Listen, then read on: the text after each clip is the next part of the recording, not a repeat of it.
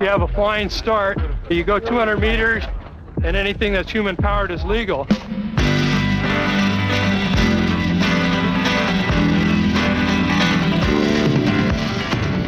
No speed limits here, just limits of muscle and invention.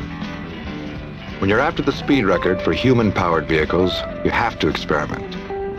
Tinker with the gears, modify the streamlining, vary the position of the human engine, and try again. New hunches, new combinations. It's pedaled like a bicycle. It's got a 96-foot wingspan. You have to pedal fairly hard, but then you're able to keep it up in the air. It takes a really good bicyclist to keep it up for a long time. Well, I've done uh, about a third of a million miles, and I happen to have designed what I think is an improved bicycle. And um, I don't know whether it's really going to be better than the past one or not, but I'm going to try it. I think it's important to try it. Ideas are cheap, actually, if you get into the procedure of problem solving. You can come up very easily with ideas, but developing them to the point at which they are really practical is a great deal of trouble. That's why the Gossamer Condor experience is such a beautiful example because that was the only plane that could be tried, could crash, they could mend it and try it again next day. And so I think they tried 35 times before it would perform as designed.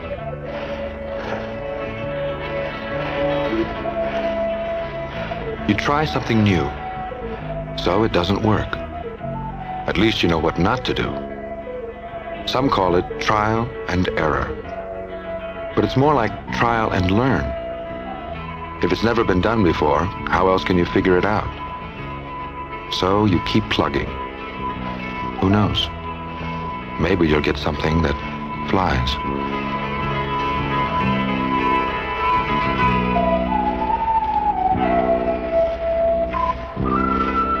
Landing!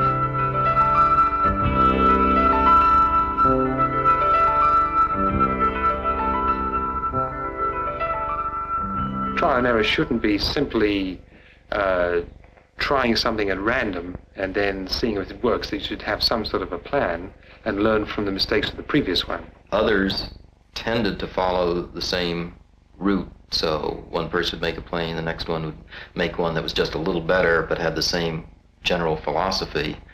And that didn't permit any great leaps forward, uh, just slow evolutionary progress with a huge amount of work. All right. The big difference with the Gossamer Condor is it was simple to build, easy to repair. Wait a minute. Uh, no. Geez, yes. Peyton was holding on to the wing. The whole plane is just about getting ready to break all the time. If any part is so strong that it'll never break, that part is too strong and too heavy. It's all aluminum tubing, piano wire, a little bit of wood, blue, mylar, sheet, half mil and quarter mil, lots of tape.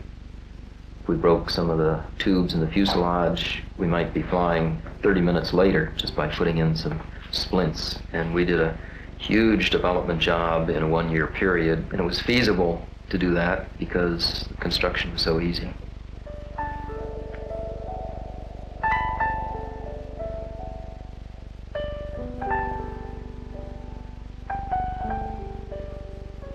I've just been doing some studies on the horsepower that it takes for a hang glider to fly. A really good hang glider only takes about one horsepower to keep in the air. Then it dawned on me that if you tripled all the dimensions of a hang glider, just made it three times as big, but made it so that it didn't weigh anymore, by then it would only sink a third as fast, and the horsepower to keep it aloft would only be a third as much. So suddenly that's in the range that a human can put out. Now call it a human-powered airplane because women fly it as well as men, and boys and girls as well as adults. It's probably the easiest to fly airplane that's ever been made, and you could catch thermals and go up to the clouds, but it wouldn't be safe. Some clouds are unsafe for any kind of plane.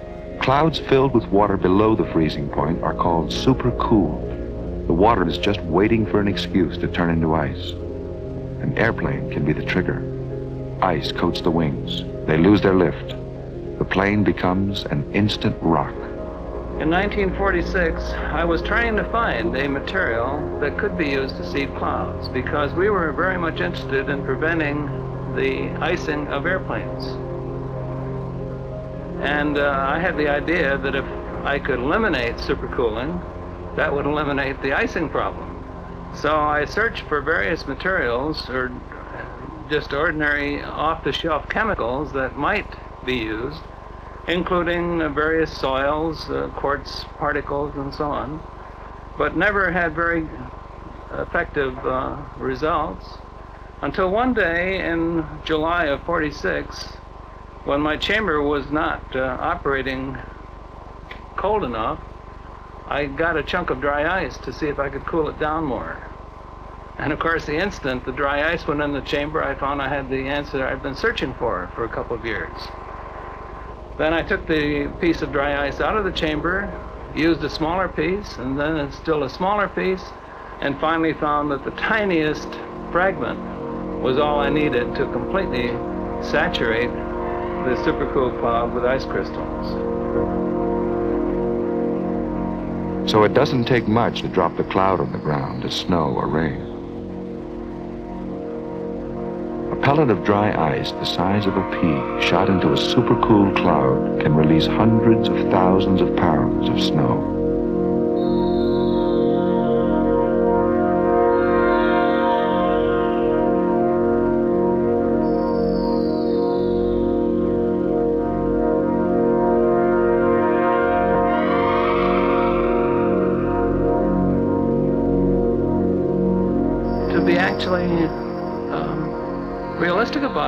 Searching very hard to find something that would produce ice crystals. That was, I'd been working on that for over two years. But by a very fortunate accident, which we call serendipity, I found that the dry ice was the thing I was looking for.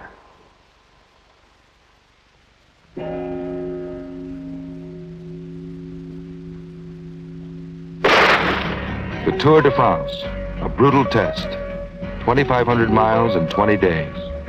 The riders are almost equal, the bikes almost exactly alike, so you have to work hard for small advantages. Champion Bernard Hinault pedals with a circular motion, easy on the metal, so he can use a lighter bike. You try almost anything. To cut wind resistance, some riders are experimenting with shirts made of slick material. In terms of the energy you put in and the speed you get out, bikes are already the most efficient transportation ever invented. But you can't stop there.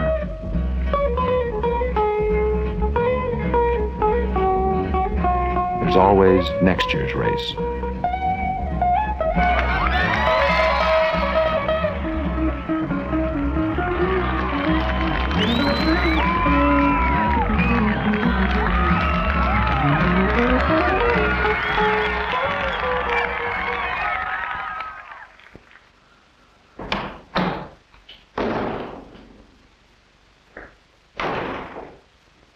Sometimes pioneers set out with nothing but a hunch. Back in 1901, an immunologist named Paul Ehrlich had the idea that man-made chemicals might search out specific germs in the body and kill them. A magic bullet, he called it. Doctors called him crazy. In this laboratory, Professor Ehrlich tried chemical compounds one by one on diseased animals. A laborious process. He tried 10. He tried 50, 100, 300. Finally, years later, number 418 gave him his first positive answer. It killed the infection.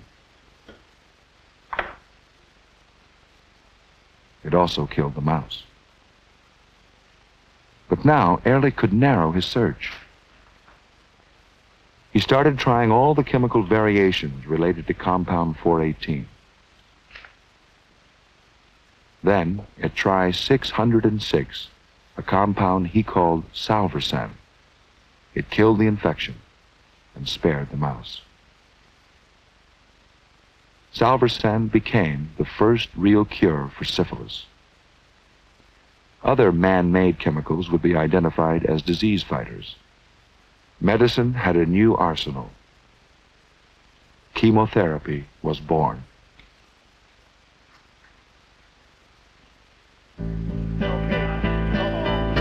Ehrlich's approach was to test everything, a kind of brute force technique still used by some researchers. Others use a deductive method, like Dr. Philip Crews, who is looking to see if nature has evolved answers of its own. Some organisms in the sea are shunned by other living things. They may contain chemicals that can be used to fight diseases. We go out and we look for plants and animals that seem to be being avoided by, by other species. Uh, this suggests to us a, a a source for, for interesting new chemistry. There are a number of compounds that we're isolating from the ocean that have never been seen before. And uh, in fact, we're asking ourselves, can they be active, uh, perhaps against insects? Not only insects, but, but disease. This is really a neat tide pool because it has a lot of different specimens in. Uh, this one here is, is really different from this long one right here or in fact the, um, the eelgrass right here. And in fact, at this spot, there are lots of different specimens of seaweeds, probably a hundred. And, and we're just interested in, in two of them at this spot, more or less by a trial and error type process. We found that the one we collected earlier, and, and then this one down here by the starfish, are the ones that are chemically interesting to us. Once the investigator is fully uh, convinced that this is the particular specimen that that wants to be investigated and it's all cleaned and homogeneous, it's, it's next packed in this apparatus for the actual extraction. And uh, uh, the extraction process is very much like uh, essentially extracting coffee from coffee beans. Next, a small disc is impregnated with the crude extract that we've just won from the apparatus to the right here. And then the next day inspect for a zone of, of, of activity. And you can see that this uh, spot in the lower foreground certainly shows a nice uh, ring of, of area where the bacteria did not grow. It's a trial and kind of revision of, of, of our thought process, or a kind of a trial and error process. It really never stops. And in fact, the information that we put together today, uh, by means of perhaps new techniques to come tomorrow, may be proven invalid, or uh, be shown to be slightly lacking in one or another different propositions.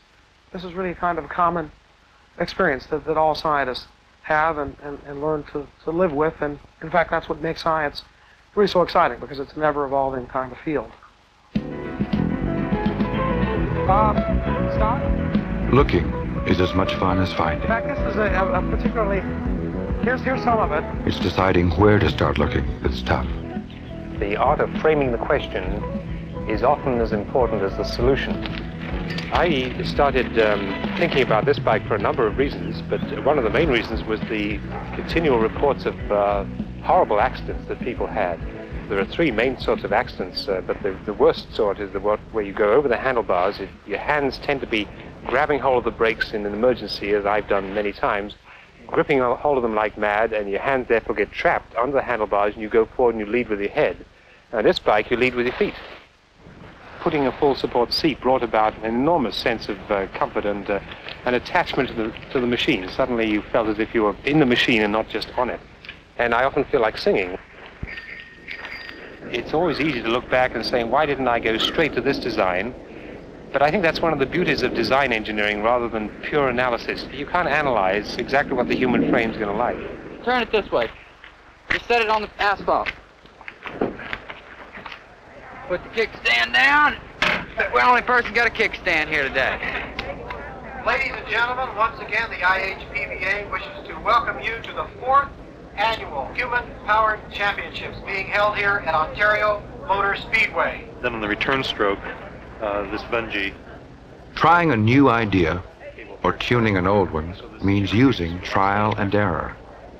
It seems inefficient, but it isn't. If you're after something new or better, it can work when nothing else will. Find out. Do a little experimentation today. Evolution. Uh, this is our third year. We just keep trying. Ready for road race? Oh, my old lady got over a thousand miles on this one. No kidding. I think they're neat. They're really neat. I like that white lightning. That's when the fastest. Uh, the, the white coffin. Somebody grab this. I'm gonna run into the Go away. Hey, hey, the pin came up on this side. Yeah, we Yeah, don't worry about it. line all the way up there. It kind of looks like um an airplane when it goes you know, down the track. Go, go, go! Go!